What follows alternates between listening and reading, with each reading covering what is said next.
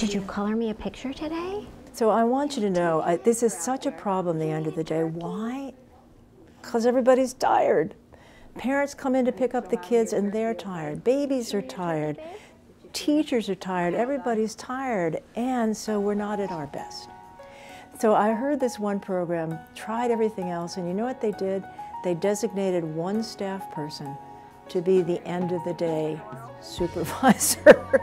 so she could be called on if something was going wrong, she could step in and take care of this baby.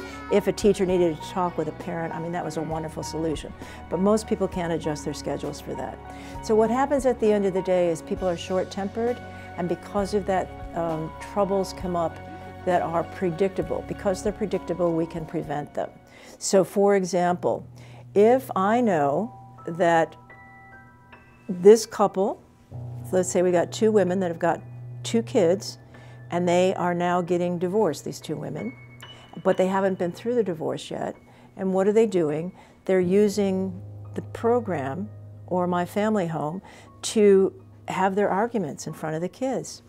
So I can say to them, guys, what we're about is creating a safe, creative space for kids while you're doing this, it's not safe and it's not creative. So come into this room over here, and I'm going to have you two, and I'll sit with you because somebody's covering for me, draw up this simple contract, and it's, it's in the law book that Tom Copeland and I wrote, but it basically says the other person and I, the other parent, and I agree that on these days, this person will pick up the child.